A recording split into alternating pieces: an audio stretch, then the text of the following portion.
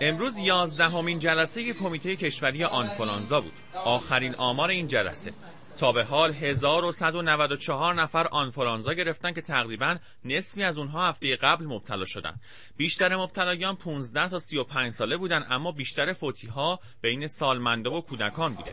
رئیس مرکز بیماری های واگیردار گفت دو هفته است که موج جدید آنفولانزا در جهان شروع شده و در آمریکا تعداد مبتلایان این ویروس جهش میلیونی داشته. گویا گفت دانش آموزا بیشترین مبتلایان آنفولانزا بودن و دیگه بیماری در داخل داره رشد می‌کنه. تقریبا دیگه اکثریت موارد کسانی رو که در کشور شناسایی کردیم اکثریت قریب به اتفاق موارد ما موارد ابتلای داخل کشور هست. دیگه موردی از خارج کشور خیلی به ندرت داریم. البته مثل اینکه بحث خرید واکسن هم جدی بود.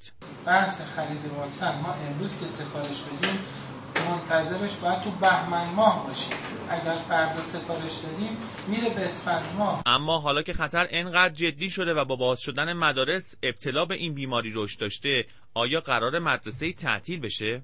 سیاست کلان ما اینه که حتی امکان مدرسه تعطیل نشه کلاس درسی تعطیل نشه. کلاس درس تعطیل شدن مدرسه تعطیل شدن نه تنها کمکی به کنترل این همه گیری نمی‌کنه بلکه روند آموزش دانش آموزا رو هم مختل می‌کنه.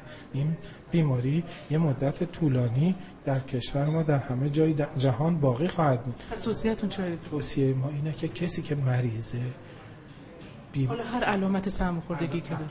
کسی که براش تشخیص احتمالی این بیماری مطرح میشه اون مدتی که پزشک دستور میده در منزل استراحت بکنه. کمیته آنفولانزا تقریبا هر هفته جلسه داره.